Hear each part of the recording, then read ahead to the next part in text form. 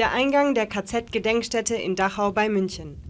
Die Besucher betreten das frühere NS-Lager durch ein Eisentor mit dem zynischen Schriftzug Arbeit macht frei. Doch dieses Tor ist eine Replik. Das Original war vor zwei Jahren verschwunden. Vor kurzem tauchte es auf einem Parkplatz in Norwegen wieder auf. Mit einem Kunsttransport wurde es zurück nach Dachau gebracht. Die Leiterin der Gedenkstätte ist froh, dass das Originaltor wieder da ist.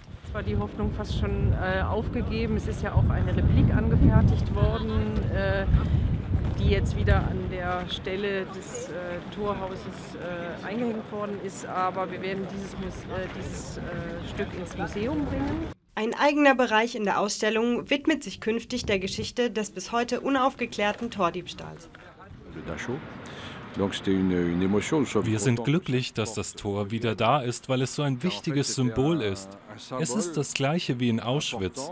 Dort versuchte 2009 jemand den Schriftzug zu zerstören.